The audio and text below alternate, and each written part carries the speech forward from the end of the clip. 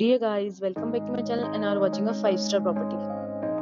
In this property, one type of room is available on agoda.com. You can book online and enjoy it.